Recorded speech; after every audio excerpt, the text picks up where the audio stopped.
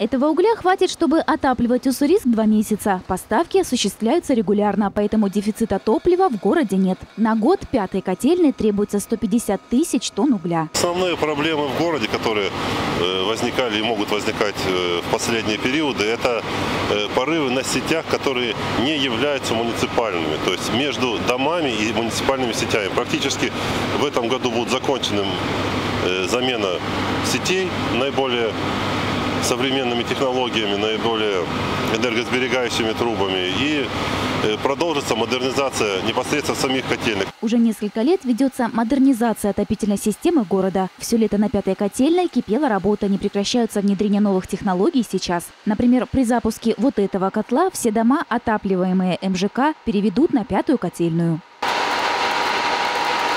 Благодаря современному оборудованию, новым трубам и квалифицированным специалистам котельная работает без боев. Модернизация продлится еще несколько лет. На эти работы запланированы миллионы рублей. Пока освоена небольшая часть. В рамках этой же программы идет установка паровой турбины. Такие турбины, получается, стоят похожие на сахзаводе, вот, и стоят, по-моему, в большом камне. Все, то есть у нас вот, она, их немного просто этих турбин.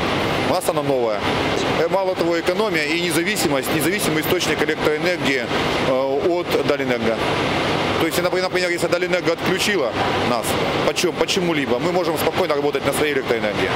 На сбои в отоплении горожане жалуются редко. Больше недовольства выражают наоборот, слишком высокими температурами в квартирах. Для регулирования тепла недостаточно обновить отопительную систему в одной квартире. Без восстановления внутридомовых систем у населения, без восстановления кранов, которые возможность была открывать. Раньше все перемычки убирали, хотели, чтобы больше было тепла в доме принять.